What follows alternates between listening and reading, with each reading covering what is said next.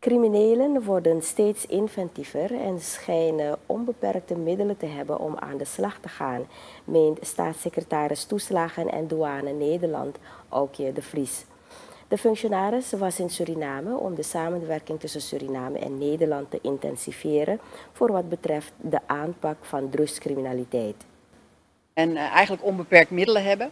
Uh, en uh, dat ze dat ook bereid zijn om in te zetten. Dus we moeten ook kijken dat we slimmer en innovatiever zijn dan, dan de criminelen. En dat betekent soms ook het inzetten van, van technologie. wij zijn ook aan het kijken bijvoorbeeld dat we scanbeelden kunnen bekijken met beeldherkenning, dus met algoritmes.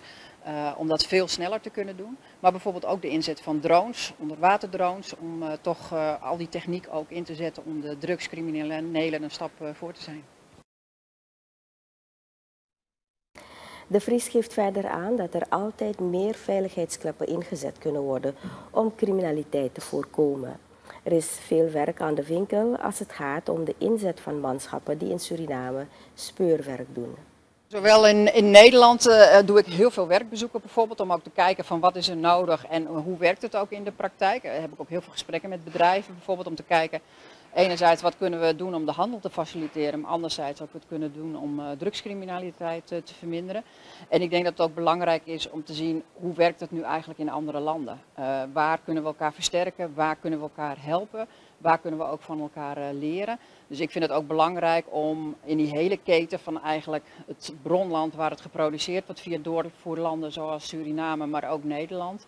Om die hele keten met, met de scheepsrederijen, met de terminals, te kijken wat er, uh, wat er mogelijk is. En ik denk dat het heel belangrijk is dat je daarvoor ook ter plekke bent.